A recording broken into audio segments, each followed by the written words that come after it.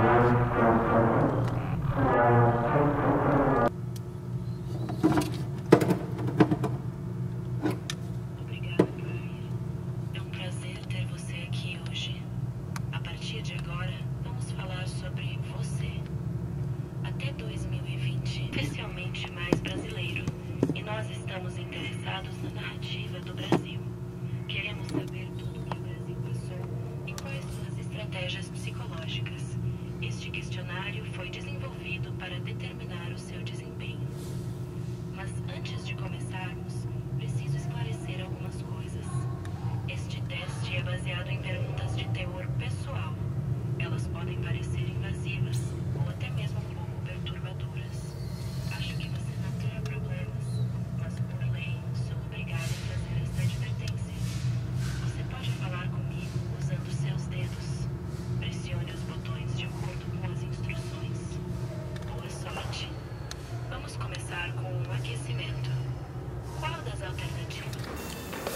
É, antes de, de se adentrar, aprofundar mesmo assim, dentro da agência é, assim, poucos dias antes assim, eu comecei a andar pela cidade, fotografar alguns orelhões e observar é, essas inscrições que tem nos orelhões e que acho que querendo ou não isso remete ao comportamento é, da cidade de Belo Horizonte, né? Não especificando se esse comportamento é bom ou ruim, assim, mas pensando o que, que essas pessoas escreveriam nesses orelhões, assim, né? Porque aí você, querendo ou não, vai relacionando de certa forma, né? O orelhão que tem no Rio, que é uma mensagem que tem ali, né? De uma pessoa que assina alguma coisa, uma pessoa que deixa um bilhete, outras coisas mais sexuais. E acho que é- essas, essas coisas elas foram, de uma certa forma, é, trazendo uma inspiração e, de uma certa forma, uma contribuição para né, a comunicação que acontece, é, tanto quando a gente está né, experimentando a obra com como a gente está na rua, sempre relacionando também essas coisas que que estão que pela rua também. Né. Acho que o interessante do orelhão é, é quando você está em certos momentos específicos, você está com uma certa insegurança de falar, você vai lá e escreve ali. É, é uma certa forma subliminar de comunicação também, né? Às vezes o que você não fala, você deixa seu telefone ali, né? Acho que cada um se relaciona de uma forma diferente. É, e é interessante também essa, essa forma do, do orelhão que está na rua e do orelhão que está. O orelhão como obra que está aqui. Né? Então a gente tem uma impressão quando está na rua do orelhão e a gente vem e tem essa outra impressão né, do, do, do orelhão como uma obra de arte. E são as conclusões que a gente chega disso? Eu acho que dentro desse trâmite todo é que é que está a experimentação da arte, que está é, esse gosto que a gente possa experimentar de uma forma diferente, né? E chamando as pessoas para participarem também. E, e é pensar também o, é, como que, que é, para que, que a arte serve. Né?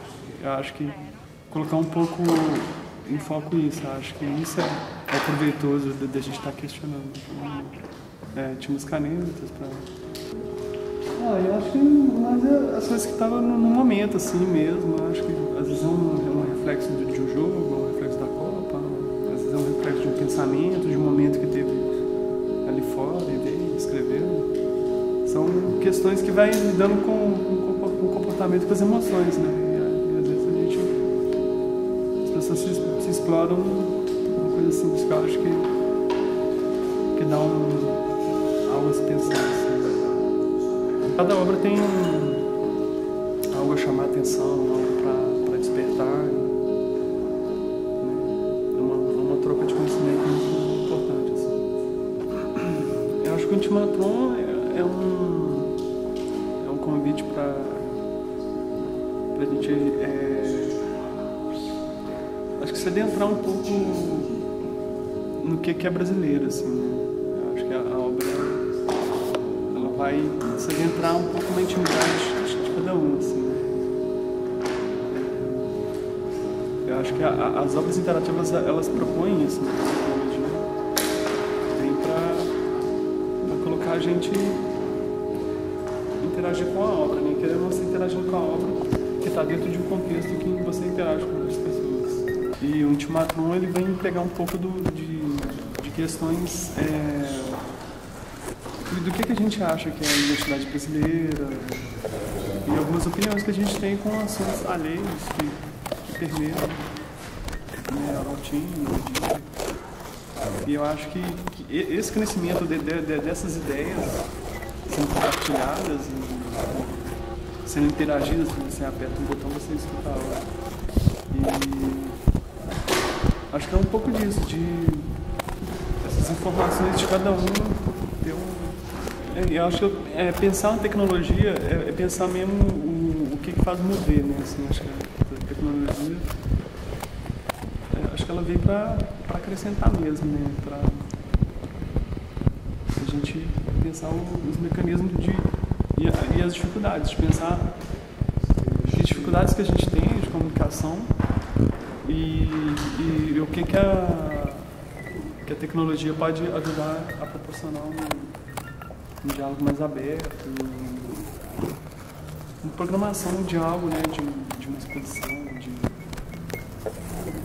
de um meio para gerar um conhecimento. Eu acho que é, essas obras elas têm, cada especificamente tem um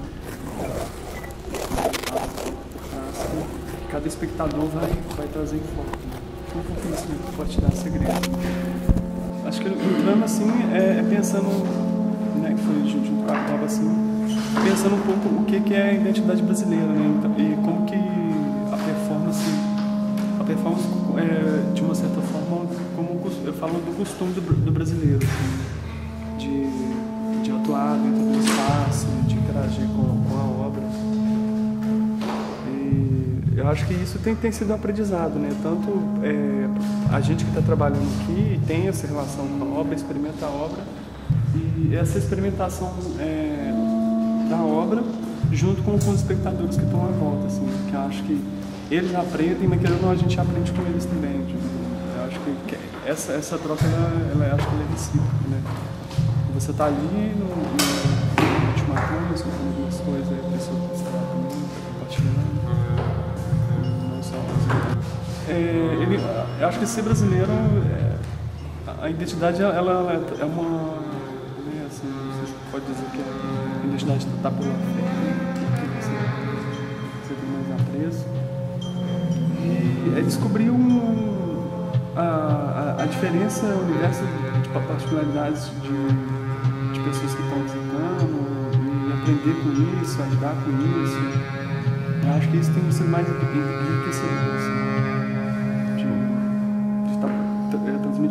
conhecimento que a gente tem, né, compartilhando as coisas que a gente está construindo junto. E acho que é por aí. Foi feito na, na galeria da Selma Albuquerque, num, um trabalho que se chama Cascade. Foi feito na galeria da Selma Albuquerque, trabalho em colaboração com o Éder Santos. É, uma vídeo instalação chamada Cascade, que era uma, uma cascata de monitores. É, e a imagem era uma, um jorro de minério, minério de ferro.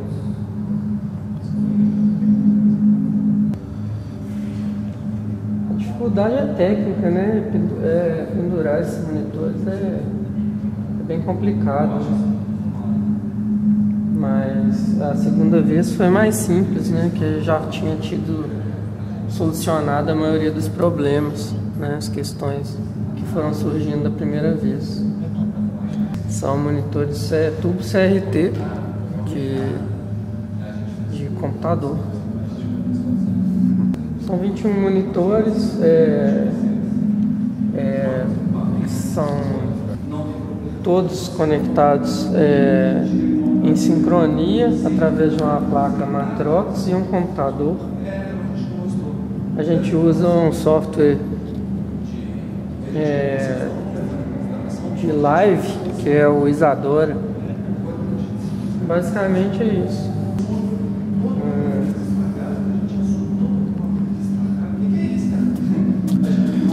Ser brasileiro é,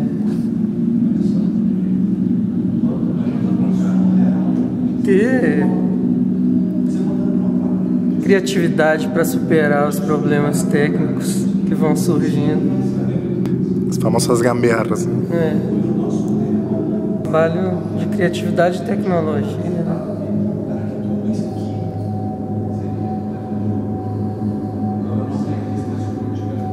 Minha colaboração foi com, com essa solução de, de montagem né, do trabalho que eles já tinham feito com projetores. Né? É bom.